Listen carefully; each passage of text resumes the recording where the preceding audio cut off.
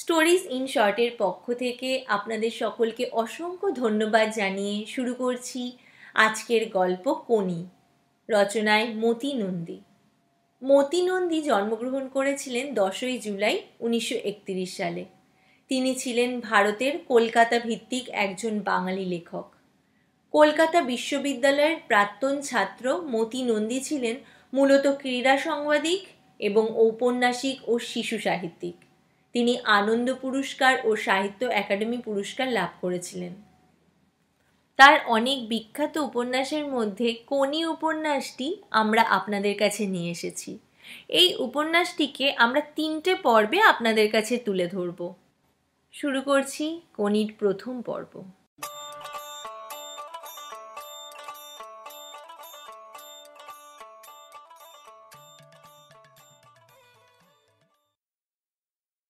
আজ বারুনি গঙ্গায় কাঁচা আমের ছড়াছড়ি। ঘাটে বয়স্কদের ভিড়, সদ্য ওঠা কাঁচা আম মাথার উপর ধরে ডুব দিয়ে উঠেই ফেলে দিচ্ছে। কেউ বা দূরে ছুঁড়ে ফেলছে। ছোট ছোট দলে ছেলেরা জলে অপেক্ষা করছে। তারা জল থেকে আম তুলে পথের ধারে বসা বাজারে অনেক কম দামে বিক্রি করে। তেলচিটে একটা ছেঁড়া মাদুরে উপর হয়ে বিষ্ণুচরণ ধর দলাই মালাই করাতে করাতে বিরক্ত মুখে গঙ্গার দিকে তাকিয়ে আছে। বিষ্ণুধর, ওরফে পাড়ার বেষ্টদা, আইএ পাস অত্যন্ত বনেদি বংশের। খান সাথিক বাড়ি ও বড় বাজারে ঝাড়ন মশলার কারবার এবং সর্বোপরি সাড়ে তিন মন একটি দেহের মালিক। বিষ্ণুধরের বিরক্তির কারণ হাত পনেরো দূরে একটা লোক। পরনে সাদা লুঙ্গি, গেরুয়া পাঞ্জাবি, কাঁধে রঙিন ঝোলা। তার দিকে পিটপিট করে তাকাচ্ছে আর মুচকি মুচকি হাসছে। বিষ্টু বুঝতে পারছে তার দেহের আয়তনের উপরেই লোকটা হাসছে। এরকম হাসি বাচ্চা ছেলেরাও হাসে। কিন্তু এই লোকটা মোটেই বাচ্চা নয়। চোখে পুরু লেন্সের চশমা, মাথায় কাঁচা পাকা কদম ছাড় চুল, বয়সটা পঞ্চাশের আশেপাশে বছর পাঁচেকের মধ্যে হবে। লোকটার গায়ের রং ধুলো মাখা পোড়ামাটির মতো। আর চোখের মনির রংটা ফিকে হয়ে গেছে। চোয়াল দুটোকে শক্ত করে ধরে রেখেছে জেদ। মালিশানা বিষ্টুর নির্দেশ মতন তানপুরা, তবলা, সারেগামা, হারমোনিয়াম এরকম বিভিন্ন ভঙ্গিতে বিষ্টুর শরীরে দলাই মালাই চালাতে থাকে। মালিশওয়ালার আঙুলগুলো শরীরে কিলবিল করায় সুরসুরি লাগছিল। এবং তার প্রতিক্রিয়ায় চর্বি থলথল করে কেঁপে উঠতেই বিষ্টু শুনল খুক খুক হাসির শব্দ। চিত হয়ে আকাশের দিকে তাকিয়ে বিষ্টু বলল, এতে হাসির কি আছে হ্যাঁ সেকেন্ড কুড়ি পর জবাব শুনল, মেসেজ হচ্ছে না সংগীত চর্চা হচ্ছে? বিষ্টু বলল, যাই হোক না কেন, তাতে আপনার কি? লোকটা বলল, ব্লাড প্রেশারটা মেপেছেন। বিষ্টু, আপনার দরকার? লোকটা আরও বলল ব্লাড সুগার কোলেস্টেরল লেভেলটা দেখেছেন কি? বিষ্টু বিরক্ত হয়ে এবার বলল, কে মশাই আপনি? গায়ে পড়ে এত কথা বলছেন। চান করতে এসেছেন, চলে যান চান করে। লোকটা বলল, তা যাচ্ছি। তবে আপনার হাড়টা বোধ হয় আর বেশি দিন এই গন্ধমাধন টানতে পারবে না। কি বললেন? বলে বিষ্ণুধর উঠে বসল। লোকটা কাচুমাচু হয়ে বলল, অবশ্য হাতি কিংবা হিপোর কখনো করোনারি অ্যাটাক হয়েছে বলে শুনিনি। সুতরাং আমি হয়তো ভুলও হতে পারি। বিষ্টু কোনো ক্রমে বলল, আপনাকে যে কি বলব ভেবে পাচ্ছি না। আপনি একটা নুইসেন্স আপনার মতন লোককে চাপকে লাল করা উচিত লোকটা ছেলে মানুষের মতো পিটপিট করে তাকালো, তারপর বলল আচ্ছা আমি যদি আপনার মাথায় একটা চাটি মারি, আপনি দৌড়ে আমাকে ধরতে পারবেন এই কথাগুলো বলেই লোকটা এক জায়গায় দাঁড়িয়ে ছোটার ভঙ্গিতে জগিং শুরু করল। বিষ্টু হতভম্ব হয়ে লোকটার জগ করা দেখতে লাগল। লোকটা হঠাৎ চাটি মারার ভঙ্গিতে বিষ্টুর দিকে ছুটে এলো। বিষ্টু সাথে সাথে মাথা নিচু করে নিল। লোকটা বলল, পারবেন ধরতে? যদি চাটিয়ে যাই? আমার কিন্তু আপনার থেকে অনেক বয়স। তারপর বলল, আমি রোজ এক্সারসাইজ করি। আইসোমেট্রিক ক্যালিস্থেনিক বারবেল বুঝলেন? রোজ করি। দারুণ খিদে পায়। আপনার পায়? খিদের মুখে যা পাই তাই অমৃতের মতো লাগে। এই সুখ আপনার আছে। এবার বিষ্ণুধর বলল, খাওয়ায় আমার লোভ নেই ডায়েটিং করি। লোকটা একটু এগিয়ে এসে বলল কীরকম ডায়েটিং বিষ্ণুধর বলল, আগে আধ কিলো ক্ষীর রোজ খেতুম, এখন তিনশো গ্রাম খাই। আগে জলখাবারে কুড়িটা লুচি, এখন পনেরোটা। ভাত খাই মেপে আড়াইশো গ্রাম চালের, রাতে বারোটা রুটি। ঘি খাওয়া প্রায় ছেড়েই দিয়েছি। গরম ভাতের সঙ্গে চার চামচের একটুও বেশি না। বিকালে দুই গ্লাস মিষ্টির শরবত আর চারটে কড়া পাক। মাছ মাংস ছুঁই না, বাড়িতে রাধা গোবিন্দ আছে। হপ্তায় একদিন মেসেজ করাই এখানে এসে। হার্টের ব্যামোটামো আমার হবে না, বংশের কারুর হয়নি। বাজি ফেলে সত্তরটা ফুলুরি খেয়ে কলেরায় বাবা মারা গেছে। জ্যাঠা গেছে অম্বলে। এবার লোকটা বলল, এত কেচ্ছা সাধন, বাঁচবেন কি করে? বলে একটু এগিয়ে এসে বিষ্ণুধরের ভুড়িতে হাত বুলিয়ে দিল। আহ সুরসুরি লাগেছে, বলে বিষ্ণুধর হাতটা সরিয়ে দিল। লোকটা বলল, আপনি আমার থেকে চার হাজার গুণ বড় লোক, কিন্তু চার লক্ষ টাকা খরচ করেও আপনি নিজের শরীরটাকে চাকর বানাতে পারবেন না। বিষ্টু কৌতূহলের সাথে বলে উঠল, কীরকম? লোকটা তার ডান কোনোই শরীরে লাগিয়ে পিস্তল ধরার মতো হাতটা সামনে বাড়িয়ে বলল, এইবার আমার হাতটা নামান তো। নিজের সর্বশক্তি প্রয়োগ করেও বিষ্ণুধর লোকটার শিরা উপশিরা বের করা গাঠ সমেত হাতটাকে নামাতে পারল না। তারপর হাঁপিয়ে জিজ্ঞাসা করল, কি করে পারলেন? লোকটা বলল, জোর বলতে শুধু গায়ের জোরই বোঝায় না, মনের জোরই সব। ইচ্ছা শক্তি দিয়ে শরীরের দুর্বলতা ঢাকা যায়। শরীর যতটা করতে পারে ভাবে, তার থেকেও শরীরকে দিয়ে বেশি করাতে পারে ইচ্ছের জোর। এই জন্য শুধু শরীর গড়লেই হয় না, মনকেও গড়তে হয়। শরীরকে হুকুম দিয়ে কাজ করাবে মন। আপনার মন হুকুম দিতে জানে না, তাই শরীর পারল না। ঠিক সেই সময় গঙ্গার তীর থেকে তীক্ষ্ণ চিৎকার ভেসে এলো। কোনি কোনি লোকটা গঙ্গার দিকে তাকালো। গঙ্গায় একটা আম ভেসে চলছে, ভাটার টানে। তিনজন সাঁতরাচ্ছে সেটাকে পাবার জন্য। তাদের মধ্যে একজন হঠাৎ একটু এগিয়ে গেল, অন্য দুজনকে পিছনে ফেলে। তখনই চিৎকার উঠল, কোনি কোনি! আমটা প্রায় প্রথম ছেলেটার মুঠোয় এসে গেছে। হঠাৎ সে থমকে গেল। হাত ছুটছে কিন্তু এগোলো না। বার দুয়েক তার মাথাটা জলে ডুবল। তারপর সে রাগে চিৎকার করে ঘুরে লাথি ছুড়ল। ততক্ষণে পিছন থেকে একজন ওকে অতিক্রম করে আমটা ধরে ফেলেছে। বিষ্ণুধর বলল, পা টেনে ধরেছিল। লোকটা চশমা খুলে খুব সাবধানে সিঁড়ি দিয়ে নামতে লাগল। এদিকে কাদার উপর ওই তিনটে ছেলের মারামারি হচ্ছে, কাদা ছিটোচ্ছে। লোকেরা বিরক্ত হয়ে গজগজ করতে লাগল। দু তিনটে ছেলে ওদের চারপাশে দাঁড়িয়ে উৎসাহ দিচ্ছে। ওদের চিৎকারে বোঝা যাচ্ছে, ওখানে ওদের মধ্যে একজন ভাদু, একজন কনি কনি ভাদুর উপর ঝাঁপিয়ে পড়ে বলল, খুবলে নেব তোর চোখ। বার কর আম আমাকে চোবানো পুঁতে রাখব এই গঙ্গার মাটিতে। হয় আম দিবি, নয় চোখ নেব। দু হাতের দশটা আঙুল ইগলের নখের মতন বেঁকিয়ে চিত হয়ে পড়া ভাদুর চোখের সামনে কনি এগিয়ে আনতেই দুটো ছেলে ওকে ঠেলে সরিয়ে আনলো। কনি বলে উঠল, ছেড়ে দে চণ্ডু, ছেড়ে দে কান্তি, শোধ নিয়ে ছাড়বো আমাকে চোবানো কনির ঠোঁটের কোনায় ফেনা সামনের দাঁত হিংস্রভাবে বেরিয়ে আছে। হিল হিলে লম্বা দেহটা সামনে পিছনে দুলছে কেউটের ফনার মতন। এই ভাদু, ও আম কনির, বার করে দে, নয়তো সত্যি তোর চোখ তুলে নেবে। কান্তি ভাদুর পকেট থেকে সব থেকে বড় আমটা কনির দিকে ছুড়ে দিল।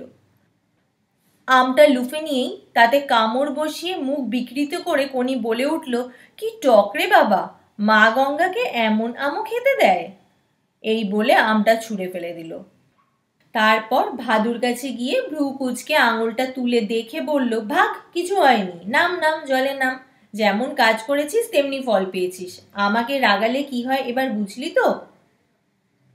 কয়েকটা ডুব দিয়ে কোমর জলে দাঁড়িয়ে গামছা ঘষছিল পিঠে লোকটা।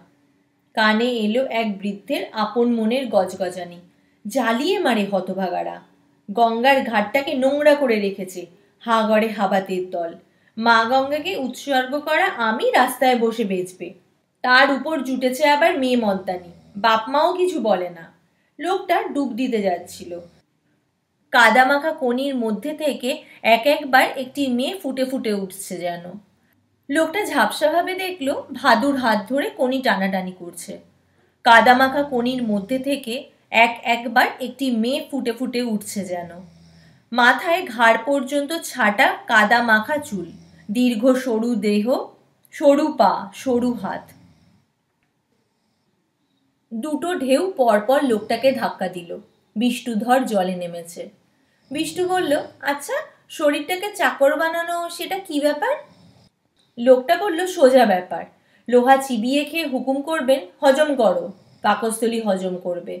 বলবেন, পাঁচ মাইল হাঁটিয়ে নিয়ে চলো, পা জোড়া অমনি পৌঁছে দেবে। শখ হলো গাছের ডাল ধরে ঝুলবেন, হাত দুটো আপনাকে ঝুলিয়ে রাখবে। এইসব আর কি। লোকটা জল থেকে উঠে লুঙ্গি ও পাঞ্জাবি পরে ঝোলা কাঁধে চশমা মুছতে মুছতে পাড়ের ডাইনের বায় দেখল। হঠাৎ নজরে পড়ল গঙ্গার বুকে চারটি কালো ফুটকি। তারা সিকি গঙ্গা পার হয়ে দূরে এগিয়ে যাচ্ছে। লোকটা আপন মনে একবার বলে উঠল, কোনি কোনি। তারপর ভিজে গামছা মাথায় পাগড়ির মতন পেঁচিয়ে বাড়ি ফিরল। তার একতলা বাড়িতে লঙ্কা, জবা, চাল কুমড়ো আরও নানান গাছ আছে। বাড়িতে তার স্ত্রী লীলাবতী আর দুটো বেড়াল ছাড়া কেউ নেই। বাড়ির কলে জল আসে সামান্য। লোকটি রাস্তার টিউবওয়েলের জলে প্রায় স্নান করে, আজ তাতেও জল আসেনি, তাই বহুকাল পর সে গঙ্গায় গেছিল স্নান করতে। লোকটা উঠোনের তারে ভিজে প্যান্ট মেলছে। এমন সময় ঘর থেকে একজন হৃষ্টপুষ্ট লোক বেরিয়ে এসে বলল, খিদ্দা, তোমার জন্য অনেকক্ষণ অপেক্ষা করছি। আর বাড়ি পাহারা দিচ্ছি। দোকান থেকে বৌদিকে কে ডাকতে এসেছিল? আসছি বলে সেই যে গেছে? খিদ্দা, অর্থাৎ ক্ষিতিশ সিংহ। জিজ্ঞাসা করল, ভেলো, কি জন্য এসেছিস? সে বলল, ক্লাবের আজ মিটিং আছে, যাবে নাকি? খিদ্দা বলল, নিশ্চয়ই যাব। ছেলেরা খাটবে না ডিসিপ্লিন মানবে না, জলে নেমে শুধু ইয়ার্কি ফাজলামি মারবে। এসব ছেলেদের ক্লাব থেকে বেরিয়ে যেতে বলাটা এমন কি দোষে? একজনও কি তাই নিয়ে কিছু ভাবে? আর ক্ষিতীশ সিংই কি বলল? অমনি তাই নিয়ে কাউন্সিলের মিটিং ডাকা হলো। ভেলো বলল, আসলে হরিচরণ আর ওর গ্রুপটার তোমার উপর রাগ আছে। হরিচরণের চিফ ট্রেনার হওয়ার খুব ইচ্ছা ছিল বহুদিনের। খিদ্দাকে বলায় সে বলল, হরি একটা চ্যাম্পিয়ন শুধু খাওয়া দাওয়া আর ট্রেনিং নিয়ে তৈরি করা যায় না রে। তার মন মেজাজ বুঝে চালাতে হয়। ট্রেনারকে মনস্তাত্ত্বিক হতে হবে। গুরুকে শ্রদ্ধেও হতে হবে শিষ্যের কাছে। তাকে মোটিভেট করতে হবে। এসব তোর দ্বারা সম্ভব না। তুই শুধু চেঁচেমেচি গালাগালি করেই খাটাতে চাস। চিপ ট্রেনার হওয়া তোর কম্য নয়। ভেলো বলল, তোমার যেতে হবে না। ওরা তোমায় অপমান করবে, খিদ্দা। খিদ্দা বলল, করে, করবে? এর মধ্যে লীলাবতী ঢোকে এবং ভেলোকে খেয়ে যেতে বলে। ভেলো চলে যাবার সময় আবার বলে, তোমার কিন্তু না গেলেই ভালো। ভেলো চলে যেতে লীলাবতী খিদ্দার সব কিছু শুনে বলে, ক্লাব যদি তোমায় তাড়িয়ে দেয়, তাহলে আমি বেঁচে যাই। ক্লাব ক্লাব করে কোনো দিন ব্যবসা দেখলে না। ক্ষিতীশ বিষণ্ন চোখে দালানে বসে আপন মনে বিশুর মাথায় হাত বোলাতে লাগল। এর মধ্যে রান্নাঘর থেকে খাবারের জন্য ডাক এলো। তাদের রান্না হয় সব কুকারে, সিদ্ধ। লীলাবতীর অনেক আপত্তি থাকা সত্ত্বেও ক্ষিতীশ সিদ্ধ ছাড়া কোনো কিছু রান্নার অনুমতি দেয়নি। লীলাবতী অনেক কষ্টে সপ্তাহে একদিন সর্ষে বাটা, শুকনো লঙ্কা বাটা, পেঁয়াজ ফোড়ন, জিরে, ধনে প্রভৃতি বস্তুর রান্না করার অনুমতি পায়। তবে সেটা শুধু তার নিজের জন্যই। ক্ষিতীশ বলে, শরীরের নাম মহাশয়, যা সহাবে তাই সয়। সে কখনো যজ্ঞী বাড়ির নিমন্ত্রণে যায় না। ক্লাবের ছেলেদের সবসময় বলে, ডাক্তার রায় বলতেন, বিয়েবাড়ির এক একটা নিমন্ত্রণ মানে এক বছরের আয়ু কমে যাওয়া। বড় খাঁটি কথা বলে গেছেন তিনি। ক্ষিতীশ আর লীলাবতীর গ্রে স্ট্রিটে ট্রাম লাইন ঘেসে একটা দোকান আছে। দোকানটার নাম প্রজাপতি। আগে ছিল সিনহা টেলারিং। দুই দর্জিতে জামা প্যান্ট তৈরি করত। দেয়াল আলমারিতে কিছু কাপড় ছিল। ক্ষিতীশ যখন দোকান চালাতো দিনে দু ঘন্টাও থাকতো না দোকানে। দুপুর বাদে তাকে সর্বদাই পাওয়া যেত জুপিটার সুইমিং ক্লাবে। তারপর লীলাবতী একদিন দেখল, আলমারির কাপড়ও অর্ধেকের বেশি অদৃশ্য হয়ে গেছে। দোকানের ভাড়া চার মাসের বাকি। লাভের বদলে লোকসান শুরু হয়েছে। তখন লীলাবতী দোকানের দায়িত্ব নেয়। নিজের গয়না বাধা রেখে দোকানের নাম দিয়েছে প্রজাপতি। এখন সেই প্রজাপতি ডানা মেলে দিয়েছে। এখন আর ওইটুকু জায়গায় কুলায় না। লীলাবতী একটু বড় জায়গা খোঁজ করছে তার প্রজাপতির জন্য। ক্ষিতীশের ঘরে ফ্যান নেই, বিছানা নেই। সে বিশ্বাস করে চ্যাম্পিয়ন হতে গেলে শুধু শিষ্যকেই নয়, গুরুকেও কঠোর জীবনযাপন করতে হবে। তবে তার কোনো শিষ্য নেই। তক্তপাশে শুয়ে চোখ বুজে ক্ষিতিস দীর্ঘশ্বাস ফেলল। শিষ্য কোথায়? ঘুম আসার আগের মুহূর্তে ক্ষিতিশের কনির কথা চোখের সামনে ভেসে উঠল। জুপিটার সুইমিং ক্লাবের নতুন প্রেসিডেন্ট এবং এমএলএ বিনোদ ভর, সম্পাদক ধীরেন ঘোষ এবং ক্লাবের আরও অন্যান্য সবাই মিটিংয়ে উপস্থিত। বিনোদ ভর ঘড়ি দেখে ধীরেন ঘোষকে বলল, আমার একটু তাড়া আছে। নিশ্চয়ই, এক্ষুনি শুরু করছি। বেশিক্ষণ লাগার মতন কিচ্ছু নেই। শুধু সুইমারদের চিঠিটা ছাড়া। আর সেটা আগেই সার্কুলেট করা হয়েছে। নতুন নয়, তাই বলার কিছু নেই। হ্যাঁ আছে। সবাই ক্ষিতিশের দিকে তাকালো। আমার বিরুদ্ধে যা যা অভিযোগ আছে সেগুলো তাহলে বলুন। হরিচরণ এবার নড়ে চড়ে বসল। খিদ্দা সম্পর্কে অভিযোগ ছেলেদের মানে সুইমারদের। বাজে কথা, ক্ষিতীশ গম্ভীরভাবে বলল। মেডেল আনলেও মুখোজ্জ্বল করার মতো কিছু করেনি। শ্যামল চার বছর আগে এক মিনিট চার সেকেন্ডে হান্ড্রেড মিটার ফ্রি স্টাইল টানত। এখনও তাই টানে। এটা কি মুখোজ্জ্বল হওয়ার মতন কোনো ব্যাপার? হরিচরণ বলল, ওই সব সুইমাররাই ক্লাবের প্রাণ। এদের নিয়েই ক্লাব টিকে রয়েছে। এরা উজ্জ্বল, এরা চঞ্চল। এদের হ্যান্ডেল করতে হবে এদের মতন হয়ে। খিদ্দা বলল, তার মানে রাস্তার মোড়ে দাঁড়িয়ে ঘণ্টার পর ঘণ্টা আড্ডা মারবে, পড়াশুনো করবে না ট্রেনিং করবে না, একে উজ্জ্বলতা বলে মানতে হবে। হরিচরণ বলল, কিন্তু এদের মন মেজাজ বোঝার ক্ষমতা দুঃখের সঙ্গে বলতে হচ্ছে খিদ্দার নেই। হরিচরণ আরও বলল, খিদ্দা জুনিয়র ছেলেদের সামনে শ্যামলকে তার টাইম আর আমেরিকার বারো বছরের মেয়েদের টাইমের তুলনা করে অপমান করেছে। গোবিন্দ এখনও ব্রেস্টোকে বেঙ্গল রেকর্ড হোল্ড করছে।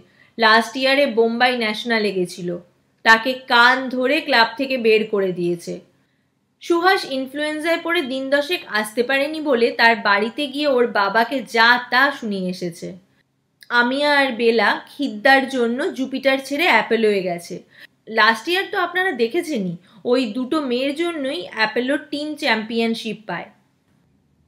ক্ষিতীশ কখনো নিজে সাঁতার কাটেনি কম্পিটিশনে কখনো নেমেছে বলে জানি না। ওর কথা ছেলেমেয়েরা কেন গ্রাহ্য করবে? কোচের একটা রেপুটেশন থাকা দরকার। হরিচরণ ইন্ডিয়া চ্যাম্পিয়নশিপ ছিল। অলিম্পিকেও গেছে। গঙ্গায় তেরো মাইল কম্পিটিশনে পর পর তিনবার জিতেছে। এরকম অনেক বাঘ বিতণ্ডার পর ক্ষিতীশ বলে, এই ক্লাবে আমি পঁয়ত্রিশ বছর আছি। ধীরনও তখন আসে। তার পাঁচ বছর পর হরিচরণ, ওদের মতন আমিও জুপিটারকে ভালোবাসি। আমিও চাই জুপিটার ভারত সেরা হোক। ওদের উন্নতির জন্যই আমি কঠোর হয়েছি, গালাগালিও দিয়েছি। সাঁতারে অবিশ্বাস্য রকম পৃথিবী এগিয়ে রয়েছে। আর আমরা? আমাদের এক একটা রেকর্ডের বয়স দশ পনেরো বছর। শচীন নাগের রেকর্ডের বয়স পঁচিশ বছর হতে চলল। যেভাবে পৃথিবী এগোচ্ছে, আমাদেরও এগোতে হবে। হরিচরণ বলে উঠল, এসব শুনতে ভালো লাগে। খাদ্য কই যে খাটাবে? তা যখন খাবার পাওয়া যাবে না, তখন খাটিয়ে খাটিয়ে টিবি রোগ ধরিয়ে লাভ কি?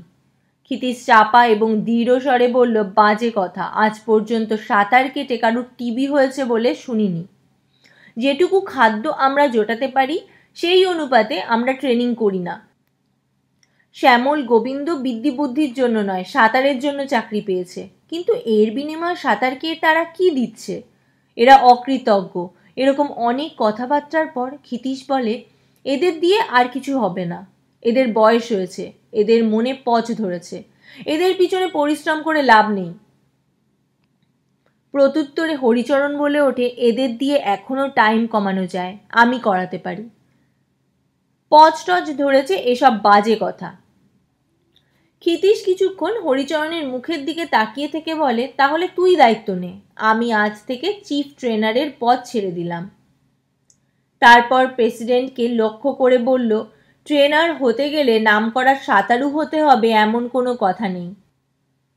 পৃথিবীর নাম করা কোচরা Talbot, Carlile, Gallagher, Haines, Counsilman, এরা কেউ অলিম্পিক চ্যাম্পিয়ন নয়।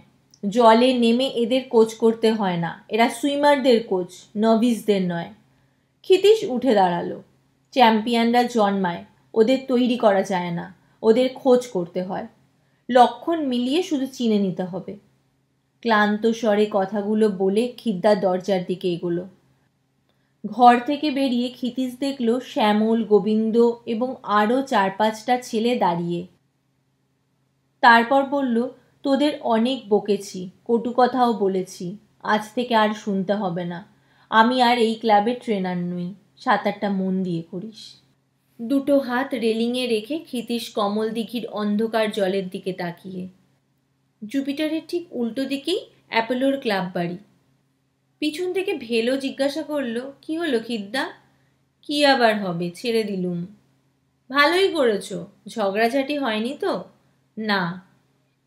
বাতাসে ভেসে আসছে শ্যাওলা আর ঝাঁঝির আষ্টে গন্ধ। পঁয়ত্রিশ বছর এই গন্ধ শুকে এসেছে ক্ষিতীশ। ওর কাছে এর থেকে সুবাস আর পৃথিবীতে নেই। ভেলো, কি করি এখন বলতো রে? একেবারেই বেকার হয়ে গেলাম। ভেলো প্রজাপতি দেখার কথা বলায় ক্ষিতীশ বলে দেয় প্রজাপতির দারোয়ানির কাজ আর তাকে দিয়ে হবে না। তখন ভেলো অন্য ক্লাবে যুক্ত হওয়ার কথায় সায় না দিয়ে সে জোরে জোরে হাঁটতে থাকে আর জানায় একবার যদি তেমন কারুর দেখা সে পায়, তবে সে চ্যাম্পিয়ন তৈরি করবে। সকাল আটটা প্রায়। ক্ষিতীশ এখন আর জুপিটারে যায় না। সকাল বিকাল তার আর কোনো কাজ নেই। অবশ্য বাজার করাটা তার অন্যতম কাজ। ফেরার পথে পার্কে দেখল খুব ভিড়। সেখানে নেতাজি বালক সংঘের উদ্যোগে কুড়ি ঘণ্টার অবিরাম ভ্রমণ প্রতিযোগিতা। প্রতিযোগীরা ক্লান্তভাবে হাঁটছে। কৃতিশের চোখ হঠাৎ পড়ল কনির উপর। সেও নাম দিয়েছে এই প্রতিযোগিতায়। ক্ষিতীশের চোখ আটকে গেল কনির দিকে। তাড়াতাড়ি বাড়ি গিয়ে দেখল লীলাবতী রেগে রান্নার না চাপিয়ে বেরিয়ে গেছে। সে নিজে তখন রান্নার উদ্যোগ করতে শুরু করল। এই নিয়ে দ্বিতীয়বার সে কণিকে দেখল। এই অবিরাম হাঁটার ব্যাপারটা সে একদম পছন্দ করে না। এখানে বুদ্ধির দরকার হয় না। শুধু বলদের মতন পাক খাওয়া। স্পিডের দরকার নেই। পাল্লা দিতে হয় না আরেকজনের সাথে। কুকারে রান্না চাপিয়ে ক্ষিতীশ আবার পার্কে আসলো। কোনি একটা ছেঁড়া বেতের টুপি পরে হাঁটছে। সে যখন হাঁটছে তখন সে তীক্ষ্ণ দৃষ্টিতে তাকাচ্ছে। সে যেভাবে হাঁটছে তাতে ক্ষিতীশের মনে হলো আকাশ থেকে আগুন ঝরলেও কনির চলা থামবে না। ক্ষিতীশ বাড়ি ফিরল বেলা বারোটায়। অন্য মনস্কভাবে স্নান ও খাওয়া শেষ করে সে ঘন ঘন ঘড়ি দেখতে লাগল। তিনটে বাজার সঙ্গে সঙ্গে আবার বেরিয়ে পড়ল। প্রতিযোগিতা শেষ হবার পর সে দেখল কোনি সিমেন্টের সিঁড়ির ধাপে বসে পা ছড়িয়ে দু হাত দিয়ে টিপছে ডান উড়ু আর তার বন্ধুদের সাথে বিভিন্ন কথাবার্তা বলছে। ক্ষিতীশ হাত পাচেক দূরে দাঁড়িয়ে কনিদের কথাবার্তা শুনছিল। এবার এগিয়ে এসে বলল, তুমি সাঁতার শিখবে? কনি জানায়, যতটা সাঁতার জানার দরকার সে জানে। তাই সাঁতার শেখার কোনো আগ্রহ তার নেই। ক্ষিতীশ ভাবল, আর একবার কনির সাথে সে কথা বলবে। কিন্তু ততক্ষণে কনিকে ডেকে নিয়ে গেছে নেতাজি বালক সংঘের কর্মকর্তারা। প্রতিযোগীদের হাতে তুলে দেওয়া হয়েছে খাবারের ঠোঙা। এর মধ্যে ক্ষিতীশ শুনতে পেল, এই যে শরীর, একে চাকর বানাতে হবে। ক্ষিতীশ ফিরে তাকালো। ক্ষিতীশ ফিরে তাকালো বক্তৃতাকারীর দিকে। ক্ষিতীশ ভিড় ঠেলে চাতালের দিকে এগুলো। আপনার লক্ষ লক্ষ টাকা আছে, কিন্তু পারেন কি আপনি আর্চ হতে, পিকক হতে? যদি কেউ আপনাকে চাটি মেরে পালায়, পারবেন দৌড়ে ধরতে? সভাপতির পিছন থেকে শোনা গেল, একবার পরীক্ষা করে দেখব নাকি? বিষ্ণুধর পিছনে ফিরে ক্ষিতীশকে দেখে ভ্রু কুচকে বলল, সব জায়গায় ইয়ার কি করবেন না তো? তারপর বক্তৃতা ভুলে যাওয়ায় বিষ্ণুধরকে একটা পংক্তি বলে তার বক্তৃতা শেষ করতে ক্ষিতীশ সাহায্য করে।